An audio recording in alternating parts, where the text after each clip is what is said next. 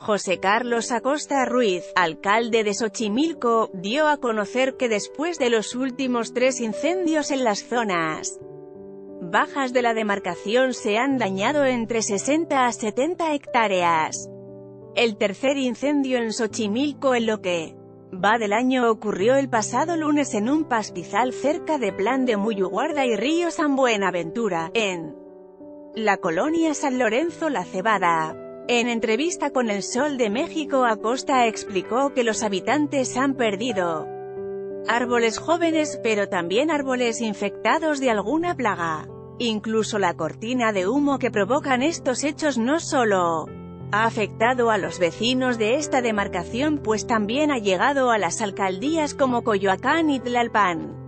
Seinbaum entrega recursos para la conservación de bosques en Tlalpan. En esta demarcación los incendios que se han presentado son producto del intenso calor y la sequía, aseguró el alcalde. Los pasados 20 y 27 de febrero se registraron otros dos siniestros. En la zona de Cuemanco, no se han reportado a personas lesionadas. Por ello indicó que en coordinación con la Secretaría de Protección Civil, Comisión de Recursos Naturales, Corena, y la dirección de la Secretaría de Medio Ambiente se encuentran haciendo labores de limpieza, taponeo, retiro de maleza, y brechas cortafuegos para evitar los incendios. Pero también, en caso de que se presente otra quemazón, Acosta confía en que existan más posibilidades de controlar estos percances. Ciudad en alerta. De acuerdo con la información estadística de incendios forestales realizada por la Comisión Nacional Forestal, CONAFOR, la Ciudad de México acumula 67 incendios en lo que va de 2019.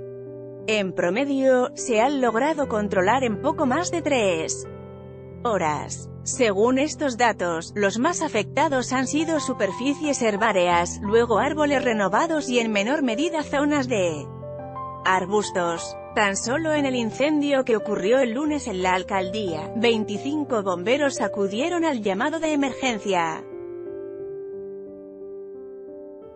Sin embargo, en el manejo del fuego en este tipo de eventos suman un total de 1.101 elementos de la CONAFOR, servicios ambientales, personal de la ciudad y las alcaldías e incluso los dueños de los terrenos.